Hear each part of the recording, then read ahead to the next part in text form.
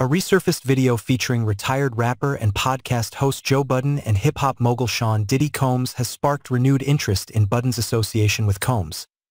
The footage shows Budden and Combs allegedly warming up before a freak-off session at a private party, a term now tied to the serious charges Combs is facing.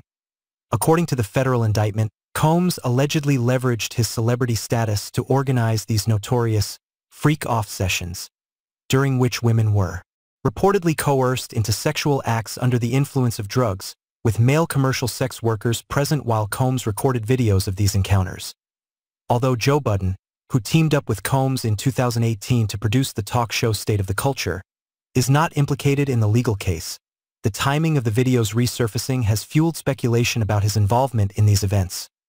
Combs, 54, faces charges of racketeering, sex trafficking by force, and transporting individuals for prostitution.